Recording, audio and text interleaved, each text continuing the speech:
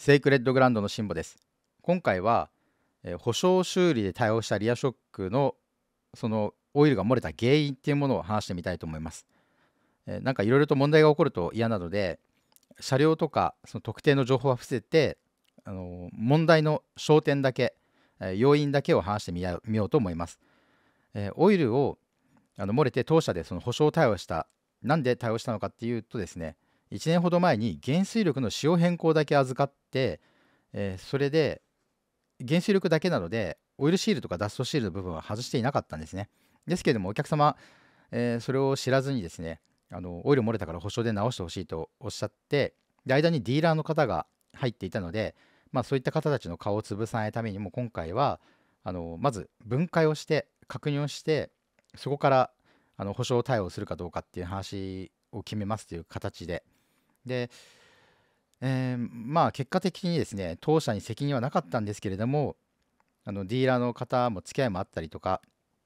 あとは事例としてあの非常に得意だったのであのその点について、まあ、自分たちの参考というかですね勉強にもなるというところで保証対応としたわけですけれどもそれではどういった理由でオイルが漏れていたのかというここからが本題になりますが、えー、初めて初めて見るというかあの類似した問題は見たことあったんですけれどもえー、メーカー純正のリアショックで初めて見ました。えー、それどういった問題なのかと申しますと、オイルの漏れた原因、オイルが漏れる原因っていうのは一般的にオイルシールがあの長期間の使用で傷むとか、メーカーの材質が悪くてオイルシールが割れるっていうことも実はあったり、えー、それ以外には傷が入ってその傷から漏れる。その傷がオイルシールを傷める。錆がオイルシールを削る。まあ切るとか破るっていうことがあります。えー、ですけども今回はそれのどれにも当てはまらなくて、えー、ダストシール汚れをそぎ落とす部分その一部が、えー、削れ取れてオイルシールに噛み込んでそのせいでオイルが一気にドバッと漏れたというのが、えー、真相としてありました、えー、分解した時にですねこのゴムのかけらみたいなものは一体何なんだろうというふうに、あのちょっと疑問に思いましてで部品を分解していくとダストシールの一部が削れているのが見えて、えー、原因が分かったわけなんですがそのダストシール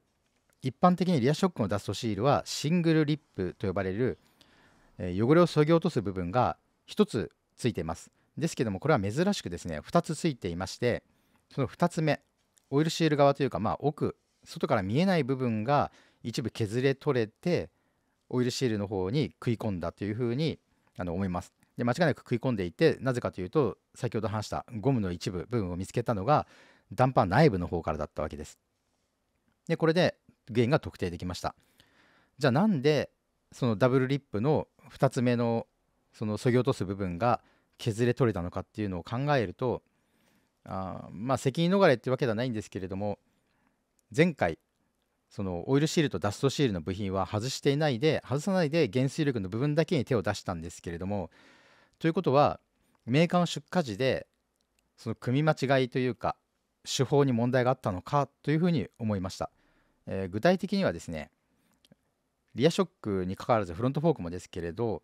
オイルシールとかダストシールを組む時にジグを使ってあの問題がないように傷がつかないようにスルッと入るように、えー、特殊な道具を使うんですけれども、えー、現物見せましょうか。これですね。こういうロッドがあってこのロッドにダストシールがこう動いてるわけですけれどもここにここにこうダストシールを通す時にガツッと当たるわけですね。当たるからこういうジグを持ってきてこうスッと入れるわけですね。でこのまあ後で一回写真も撮りますけれどこれを失敗すると、えー、ダストシールがひっくり返っちゃうんですね。あのこう動く部分がこう逆さまになってしまう、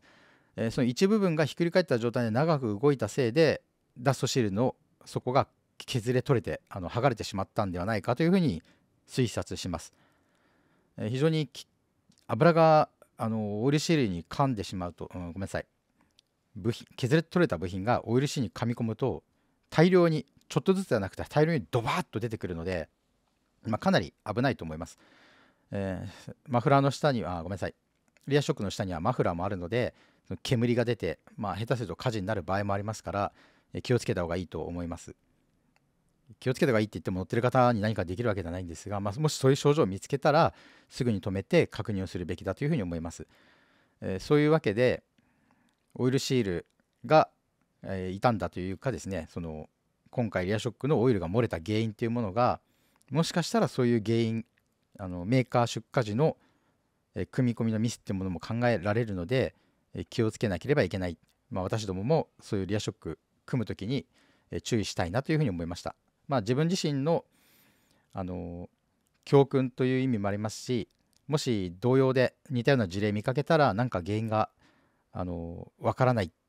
何で漏れたんだろうっていうところで皆様方の役に立つというか参考になればいいなと思って今回の動画を撮りました。